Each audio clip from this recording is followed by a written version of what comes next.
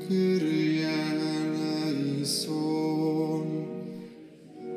25 listopada wspominamy świętego Piotra i Hojong, męczennika. Piotr urodził się w 1803 roku w Korei.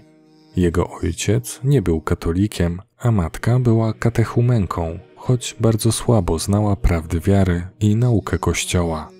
Piotr miał też o 21 lat starszą siostrę Agatę. Została wydana za mąż, ale po kilku latach zmarł jej mąż i jako bezdzietna wdowa powróciła do rodzinnego domu.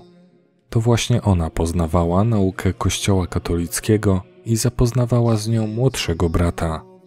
Rodzina żyła bardzo ubogo, a sytuacja pogorszyła się jeszcze po śmierci ich ojca. Piotr nawiązywał kontakty z innymi katolikami.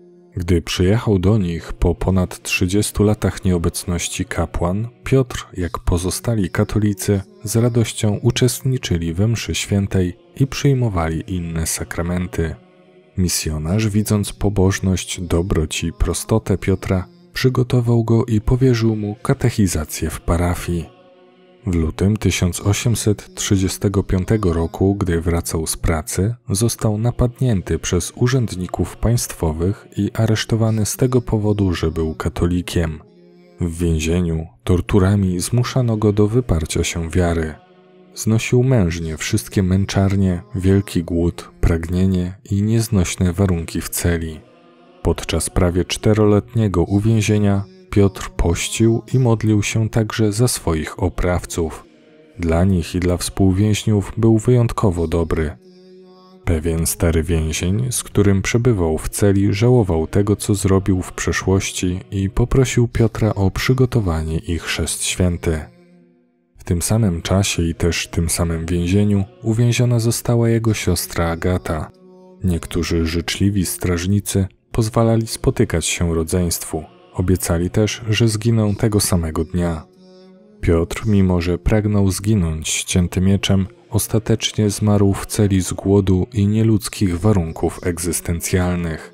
Miało to miejsce 2 listopada 1838 roku. W ten sposób został pierwszym męczennikiem koreańskim.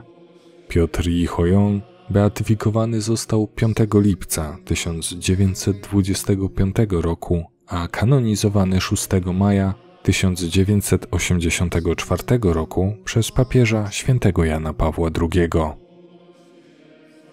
Módlmy się. Wszechmogący i miłosierny Boże, obchodzimy dzień zwycięstwa Twojego męczennika świętego Piotra, któremu dałeś nieugiętą stałość w cierpieniach. Otocz nas swoją opieką i wybaw od zasadzek nieprzyjaciół. Przez naszego Pana, Jezusa Chrystusa, Twojego Syna, który z Tobą żyje i króluje w jedności Ducha Świętego, Bóg przez wszystkie wieki wieków. Amen.